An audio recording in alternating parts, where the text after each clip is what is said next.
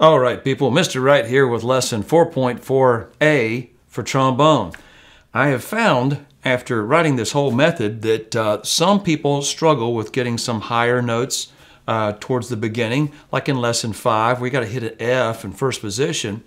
So what I did is I rewrote and add, added some exercises in here, 4.4a and 4.4b just to help us to practice some of these lower notes to help build up our chops for the upper notes. Also, um, I can't remember if I've mentioned this before, but there's an exercise apparatus called the PETE, P-E-T-E, and there's other brands of it. But what it does, see this little disc at the end of this uh, little shaft right here, you put it just in front, the little disc right there, in front of your teeth and behind the lips like this, and you just simply pull out. And the resistance that you have, like keeping your lips from being pulled out, that's the same sensation that you would have when you're trying to flex your lips in against the teeth to make them tight against the teeth. Like,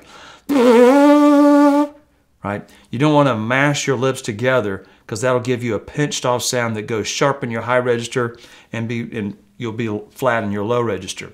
So you want to uh, you can get one of these. You, you don't have to get one that's silver plated or steel. You can get one that's made of plastic and they can be like 14 bucks.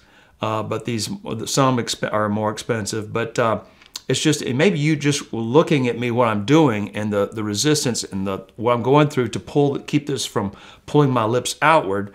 That's the same uh, sensation that you would have as you're flexing your lips against the teeth. Remember, your, your your bottom teeth are like the, the fretboard of a violin or a guitar. Your lips are like the string. And as you uh, tighten up your lips against the uh, fretboard of your teeth, your lower teeth in particular, uh, this vibrating surface becomes shorter and shorter, driving the pitch up. You're also arcing the back of the tongue to get a higher pitch. Like your tongue will come up and forward like this, like tai, for your higher pitches. So we're going to start with lesson 4.4a and hopefully uh, we can build up some strength in our embouchure and our muscles in our mouth. Remember, you don't want to pull back on the corners of your mouth uh, to get a smile embouchure. You want to keep your corners firm, and you're just basically going. It's hard, it's hard to you, what you if I'm just buzzing with just my lips. My lips are actually touching, but inside the mouthpiece, my lips are about a quarter of an inch apart. Like if I play a note, like say an F, and I pull the mouthpiece away from my mouth, my lips will stop buzzing because my lips are so far apart. So what goes on in the mouthpiece is, as opposed to just buzzing with your lips outside the mouthpiece, two different things. So please be aware of that. I've put the positions that we'll need at the top of the page, and you'll see fourth position. Fourth position, well, let me start from the top. First position is when the slide is all the way in. Second position is when you see about an inch of the silver slide on the inside. And then third position is when this crossbar is right before the bell, approximately. And then this piece right here of the trum outer trombone slide when it's about even with the end of the bell. Now, some on some trombones, this is shorter. This is shorter on my trombone, so it'll be just a little bit beyond that. But some student line trombones, they'll be about even with the end of the bell because this part right here will be a little bit longer. Then fifth position is about right out here. It's closer to sixth than it is to fourth then six positions out here, and then seventh position is when you start to see a little bit of that larger section of the slide showing in seventh position. Another way of tuning up your positions is to do the Remington exercise, and we'll get into that later, but basically you start in first position with either an F or a B flat, whichever one you can hit. Like if I start on an F, and I'll go from F and first down to second. I'll go first to third, first to fourth. Listen to what it sounds like. See, I went a little bit too low at first.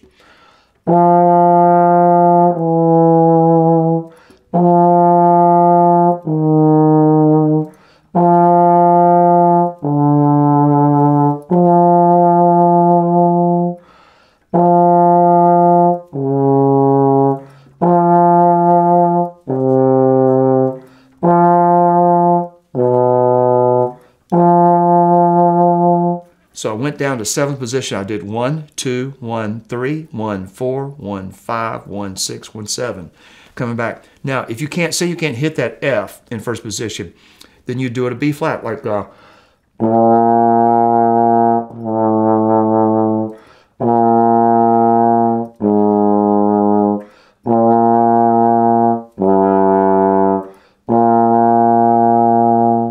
And you go down to five to six to seven, same way.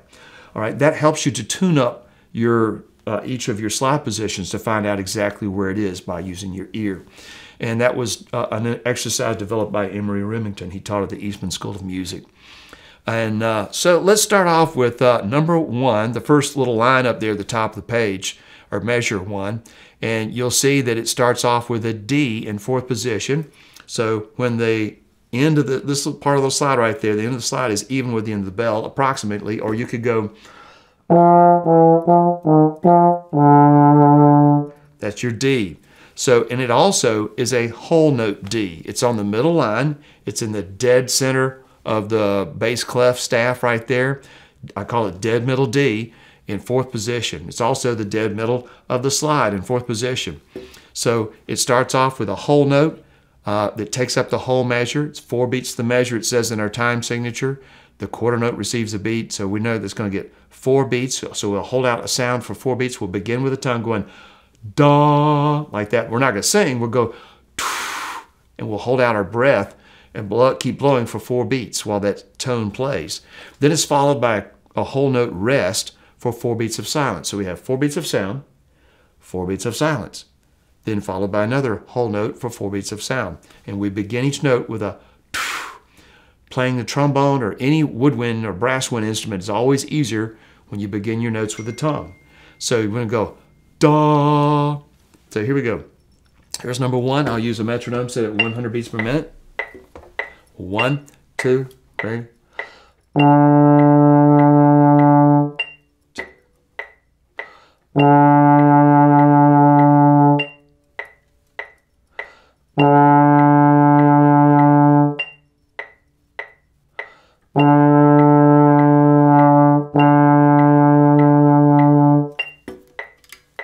Now we're going to do number two, or measure nine, I should say. I didn't put a number beside each one of these, but measure nine starts with two half notes.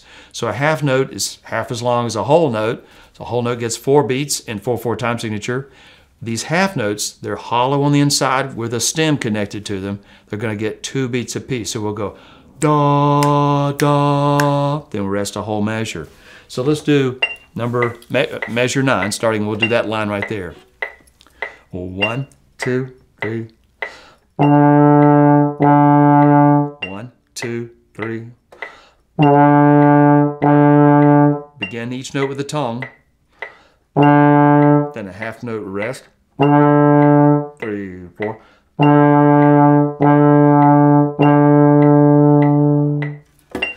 Now, I forgot to explain, when you hit measure five, you've got a half note followed by a half note rest. Two beats of sound, two beats of silence. Notice that that little dash is located in a different spot on the staff. It's sitting on the top of that uh, middle line, whereas a, a, whole note rest is like underneath it. So that's a whole note, a half note, and a half note rest right there in measure five. Then in measure 17, the third line down, we've got quarter notes. They're solid black on the inside and they have a stem. These receive one beat each in 4-4 time signature. So we would go da, da, da, da. And in the next measure, you have quarter note rest. They get one beat of silence each. So you just count off those four beats of rest. Typically, you don't see four quarter notes of rest. You'll just see a whole note rest there. But I put them in there just so you could be aware of how long they are and what they look like. So here comes the third line, starting at measure 17. One, two, three. Two, three. Two, three. Now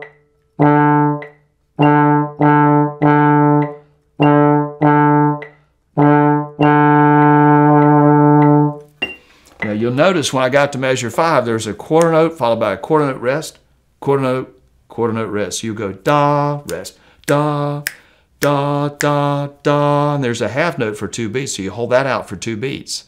Then in the next measure, two measures from the end, da, da, rest, da, da.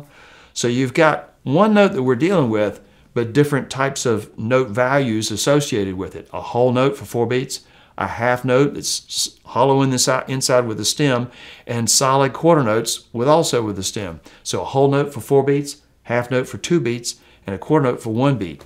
And of course, there are opposite rest values. Whole note rest, four beats, half note rest, two beats, and a quarter note rest for one beat. So now we get into number 20, uh, measure 25 or number four there. And so we got a half note for two beats. We hold out for two beats followed by two quarter notes. So we go da, da, da, da, da, da, da, da, rest, da, da, da, da, da, da, rest, da, da, da, rest, da, da, da, da, da. So let's try number uh, four, or measure 25. One, two,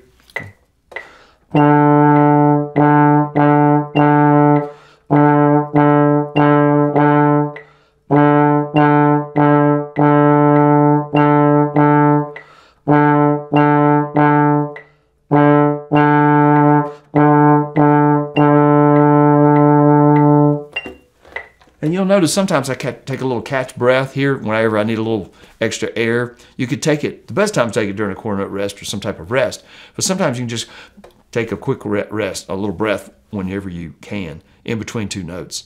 Now, we're on the, uh, the next line here, measure 33, number five, and it says, uh, oh, I did number them. Oh, that's cool.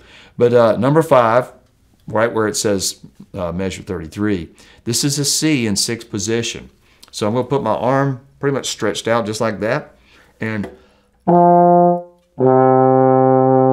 that's my C in sixth position. Notice it starts off with a whole note, four beats of sound, followed by a whole note rest, and I have two half note Cs, and this is the new note C, okay? So you got it, it's in the second space from the bottom. So you just have to memorize that that note, second space from the bottom, is going to be a C in sixth position. Then in the third measure, like it says, is two half notes for two beats apiece. Then you got a whole note in the fourth measure. Then in the fifth measure, you've got quarter, quarter, half note, quarter, quarter, half note. Then four straight quarter notes, then a whole note C. So let's try number number five right there. And a one, two, three. One, two, three.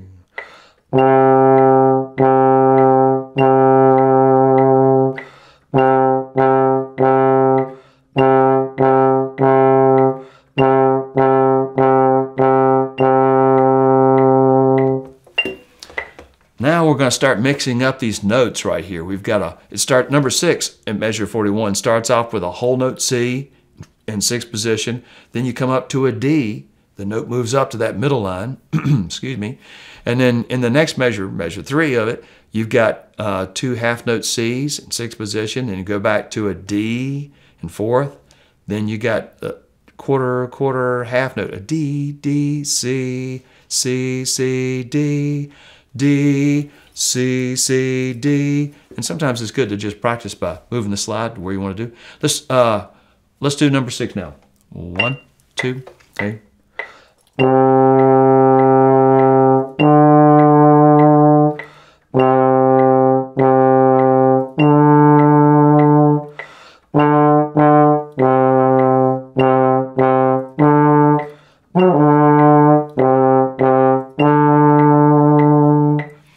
You heard that little spia kind of note in there. That's why I didn't really do a good job of using my tongue to start the note. If you just blow air or use the back of your throat going, uh, like I did as a fifth grade beginner, uh, that's not a good way to do it. Because uh, later on, we're going to need to be able to go da tiki da tiki da tiki da, like uh, and you can't do that with the back of your throat and it not sound really strange. So uh, make sure you use your tongue. Make, it'll make it so much easier to cause those notes to speak easier as well. Number seven, or measure 49, starts off with a C, C, D, C, C, D, D, D, D, C. Then you've got straight quarter notes. Let's try number seven, measure 49. One, two, three.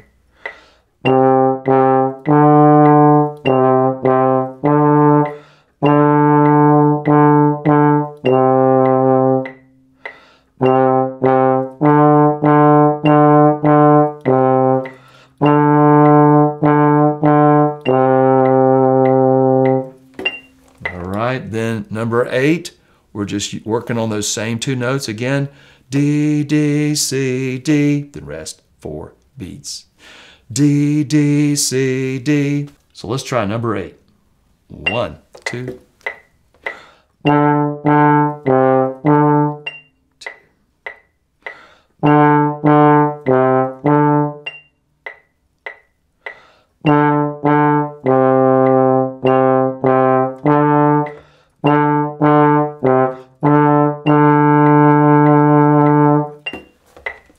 See me as I'm getting ready to play. I'll put the mouth up to my mouth and then I'll put it on my lips. Then you'll see me pull my lips apart like wow, right? That's so my lips have plenty of room to vibrate inside the mouthpiece. If I leave it up there and I go, that's with my lips really close together, okay? So I'm gonna pull my lips apart and my teeth to where they're about uh, a quarter of an inch, a little bit bigger than a quarter of an inch apart.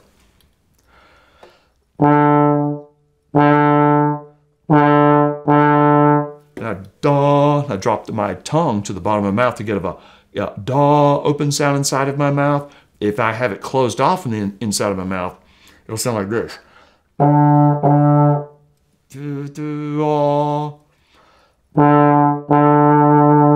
Right? Daw. It's like you're, it's like a yawning sensation inside your mouth, okay? And then uh, we're going to do number nine. Oh, we've got a new note. It's a B flat in first position. And you see what I did just then? I went, I opened up the inside of my mouth, spread my teeth and lips about yay far apart, about a little over a quarter of an inch apart.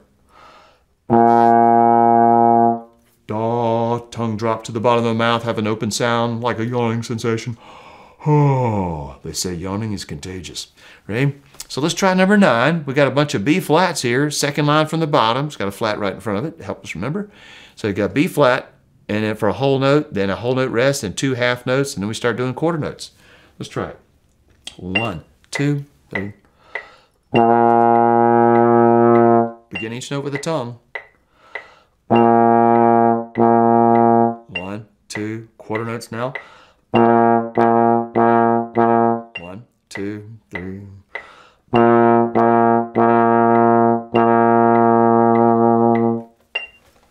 All right, and now we're gonna mix up two of those notes, the B flat in first position with a C in sixth position in the second measure. So I got two half note B flats and I go out to a C in sixth position. So it's not too much of a mix up of notes, just B flat and C. You got to recognize the difference between a note, that B flat that's on the second line from the bottom, and a C which is on second space from the bottom. Here comes number nine, or I'm sorry, number 10. One, two, three.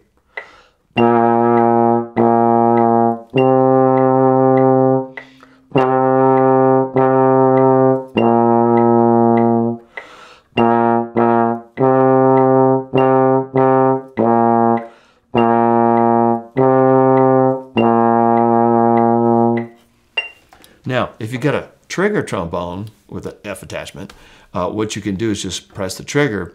Instead of going to sixth position, you just press the trigger down. All right.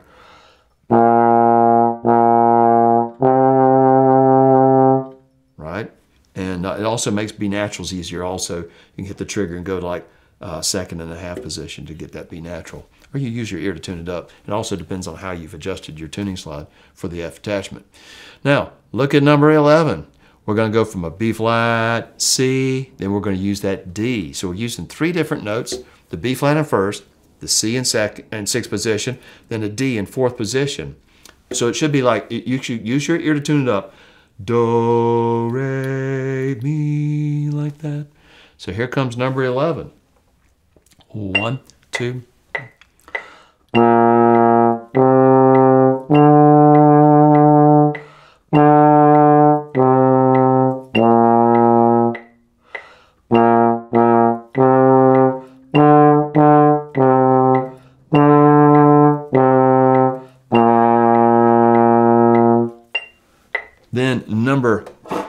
number 12, hot cross buns, goes D, C, B flat, and you rest for D, C, B flat. Then you got quarter notes ta da da da da da da da four six to first position and don't get in the habit of writing the positions over the notes because that will train you in not how to read the notes you you want to get to where you can uh, just look at the note recognize it'd be less for you to think about uh, trust me in this uh, if you write the slide positions over the notes you'll never learn how to read so make sure you don't write slide positions over the notes.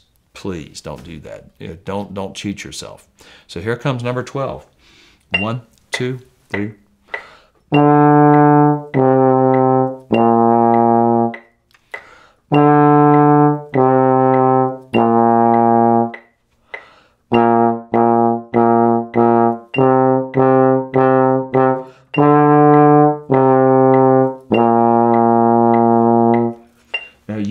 Go slower, and that's fine. Like, like what I'll do right now, I'm going to slow it down to say 90 beats per minute. We'll do the same one slower, number 12. And you may need to do this with a lot of these other exercises too. The, it's just a suggested BPM at the very beginning. So let's do number 12 again. I'm going to do it at 90 BPM. Here we go, number 12. One, two, three.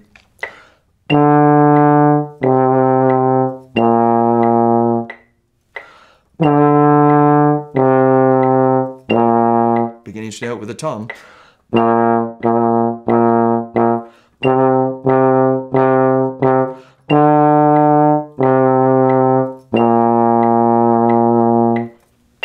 Now, the next one, number 13, you may even slow it down even further. I'm going to go down to 40 beats per minute. And uh, this is Mary Had a Little Lamb.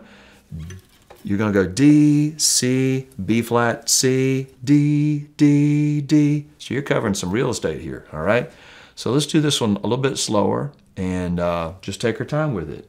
One, two, three.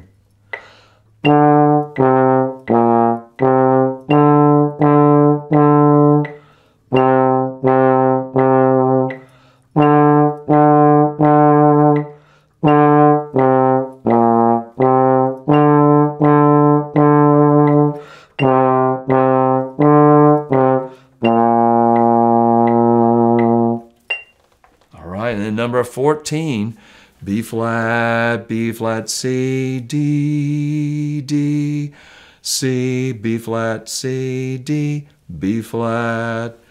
That's the name, that is a, a tune. I did not write that. I can't remember the name of it. Uh, anyway, you probably know. You've probably heard of it. So here goes number 14.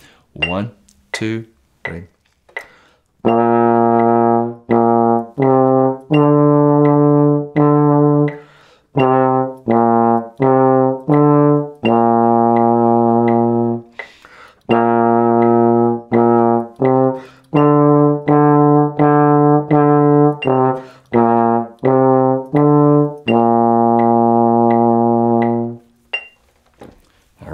So that's lesson 4.4a.